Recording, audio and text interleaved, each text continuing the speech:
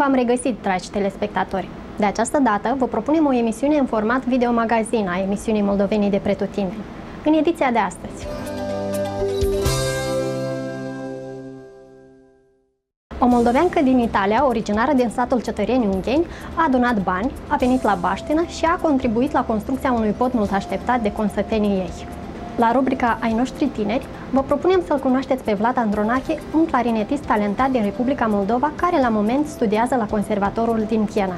Un grup de voluntari din Italia și-au dorit să aducă încă un zâmbet pe fețele copiilor și a localnicilor din satul Mihailovca.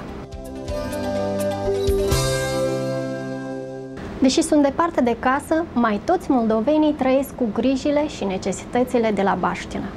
Orice problemă de acasă nu-i lasă indiferenți. Toate muncile și eforturile întreprinse sunt direcționate spre a îmbunătăți viața și condițiile din Republica Moldova. Istoria pe care vă propunem spre atenție o are drept protagonistă pe Elena Putină din Torino, care de multă vreme și-a dorit să facă ceva pentru satul din care a pornit în lumea mare. Podurile ca simbol reprezintă legătura care unește două părți, două maluri. În satul Ceteren din raionul Unghen, timp de 20 de ani, această legătură a lipsit. De curând însă, situația s-a schimbat și un vis mai de demult al ceterenilor s-a împlinit.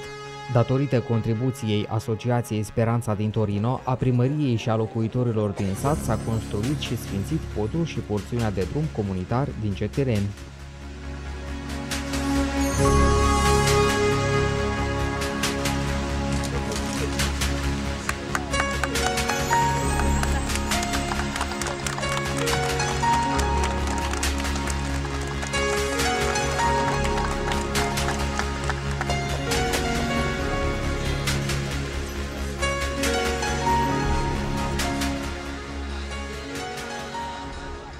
La acest pod au participat mulți săteni care locuiesc pe acest teritoriu, au participat și mulți sponsori, dar au participat și un sponsor care cel mai mult ne-a ajutat, sponsorul din Italia, locuitoarea satului nostru, doamna Elena Mihailă. Mult, mult ajutor a dat, fiindcă de la oamenii din sat cam trăim cam greu și fiecare a dat cum și cât a putut.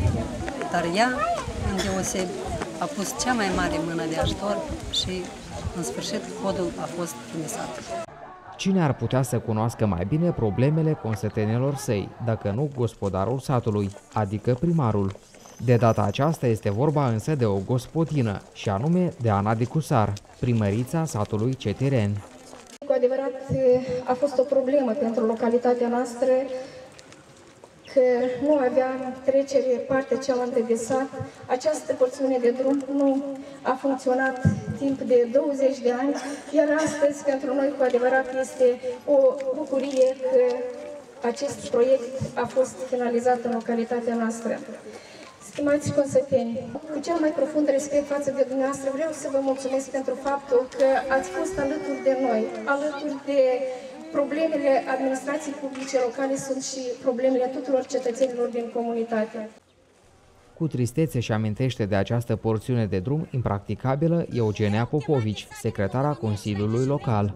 Dar cum altfel ai putea să simți siguranța și comoditatea asfaltului, pe care pășesc acum locuitorii din Cetereni, dacă nu ar fi resimțit timp de 20 de ani noroiul care făcea practic imposibilă traversarea către cealaltă parte de sat.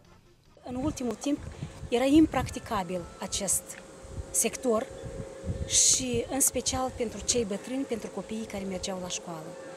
Uh, iarna era foarte, nici practic nu mergea nimeni pe acest pod.